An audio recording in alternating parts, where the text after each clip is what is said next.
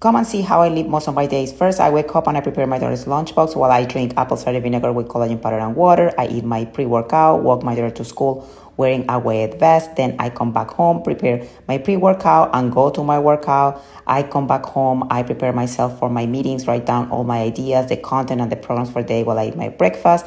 This day was extra special because I went to work out with moms and their babies.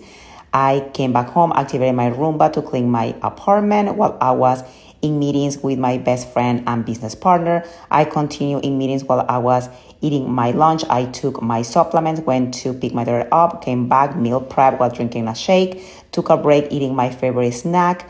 Then I dropped my daughter off for another activity. I organized the kitchen. I was so tired, but I was so happy because I was going to my flamenco class that I go once a week. I ate a Mexican bowl for dinner while I was watching TV with my daughter, and that was all for the day. What a day, bestie.